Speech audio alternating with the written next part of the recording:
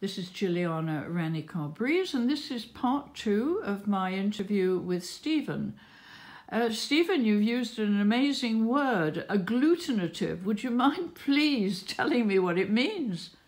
Agglutinative is a class of language in which uh, the grammar consists of extra little bits tagged on the end of the main word. Uh, this is different from uh, an inflected language like Latin or English or German, which has different endings for different genders, cases. Um, well, Turkish language is like that. It's Turkish different. is agglutinative, yes. Oh, right. Um, and uh, another major class of language is called isolating, which is like Chinese, where the words are largely monosyllables and you don't have different grammar endings. It depends on word order more than anything. Uh, I heard, yes, you, it, it, they say I go yesterday or I go yes. tomorrow yes, or something. Right. And uh, English is heading that way. Right. It's, English used to have the same kind of grammar as Latin and Greek, but it's been losing its endings over the centuries. Really? And now, word order um, is, is what governs man bites dog and dog bites man. You don't have nominative cases and accusative cases like you might have in Latin or German. It's word order. Um, that, and uh, a number of interesting things happen in, in uh, English that haven't happened in other languages. For instance, in English, you can verb any noun at will, as I just did.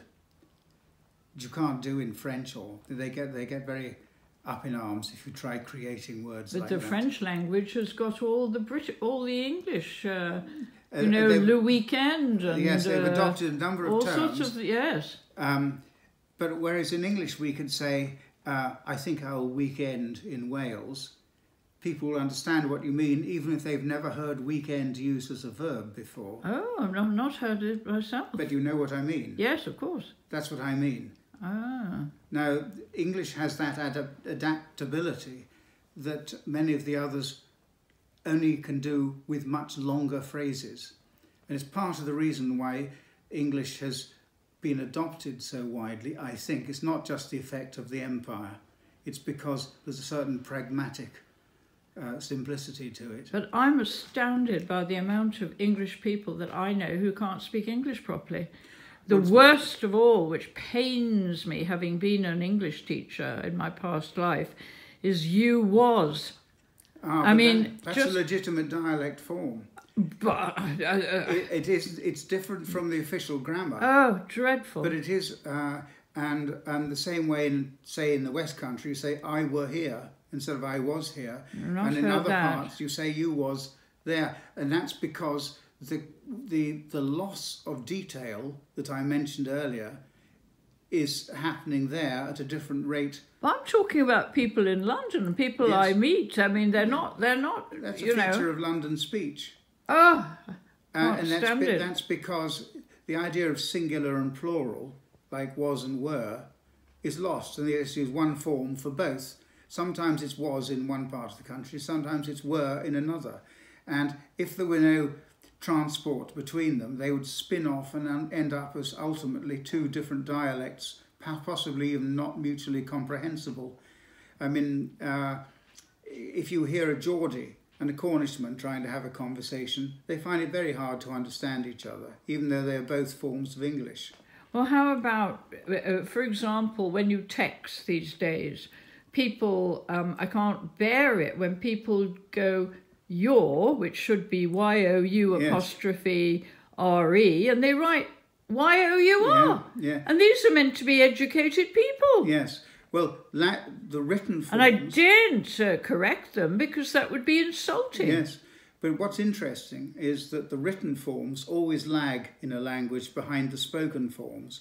And because they are homonyms in speech, people write them homographically. That's to say, it's what does that mean? It means it sounds the sounds the same, and, and therefore they use the same spelling because they know. That, well, they perhaps don't know explicitly, but it means that they will be understood. Even but these are say, oh, educated oh, people I'm talking about. Yes, indeed. Um, convenience and pragmatism. It may not always be what you want. But very interesting that this is an ancient thing. You find it in Roman writers, you find it in Babylonian writers from hundreds of years BC, that people saying the young keep getting it wrong and making free with this, that, and the other. Um, they don't know the proper rules and so on. It's because spoken speech always evolves faster and the written language has to catch up with it. Um, and uh, this is the same wherever you look. Uh, so one has to be uh, slightly more generous minded because um, you merely say, just as you say, you see somebody walking in a certain way, say that's the way they walk. You don't say they're walking wrongly. I need to tell them how to walk correctly. And it's really the same with speech, except, of course, speech is between two people, and there is an element of having to do it the way the other person needs but, but to hear surely it. education and class comes into that. These are all parts of the way a culture differentiates internally, and it always has been so. Uh, speech um, communities, as, they, as you might think of them, say in one village or whatever, stratify. Uh, they differ from the next village, and it, it has been said that um, a, an official language is a dialect with an army. That's to say, able to impose their correctness upon everybody else. Mm. Mm. Uh, I, I mean, I come from Liverpool, and I remember a word in particular which is, doesn't appear to be used anywhere else, and that's cockloft for the attic. You know, um, Yes. when I say, oh, it was up in the cockloft, people go, what? Yes, yes well, Where? many dialect um, bits of terminology like that you find everywhere. And uh, in uh, my home village, Benenden in Kent, two uh, was a married couple who were both employed by my grandfather when he lived there, and, and by my own parents, and I knew them both in adulthood. They had been married for 60 something years. They came from 12 miles apart. And even then, after 60 years of marriage, one would say to the other, What was that you said? I never heard anybody say that before. exactly the same way. Um, that was be- between Burwash and Benenden, which I think is 12 miles. Right. Uh, and this is what it always is like. You'll find it in the jungles of Peru, the same way. The same village, you know, two two villages. They'll say they always talk funny over there. Yeah. You, But you, you give lectures. Where, where, for example, have you given lectures?